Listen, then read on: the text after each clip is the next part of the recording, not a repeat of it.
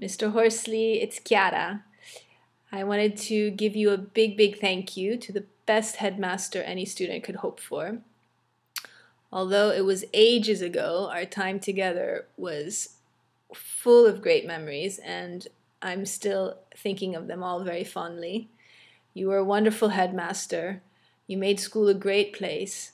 And you're a wonderful French teacher, too. I have to say that I've never had a French class since that was as pleasurable as it was with you. It was great fun. I am sending you lots of love from London, and again, a big thanks.